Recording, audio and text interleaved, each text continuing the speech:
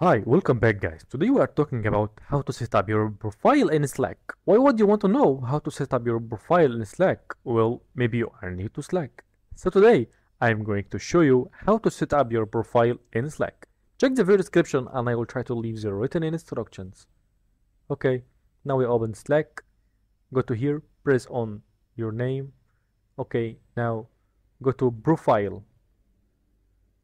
Okay, press on edit this word here okay now you can add your name your display name that the people will see it it will be shown. Okay your title let people know what you do at youtube channel something like video editor.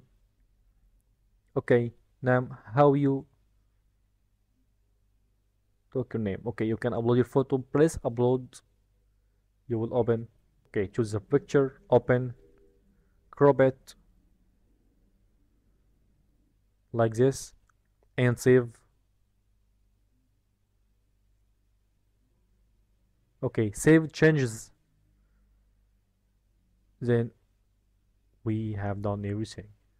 There you go. If you want to know how to up your profile in slack that's the easiest way i know how. If you know another way to do it leave a comment below. Be sure to subscribe for more videos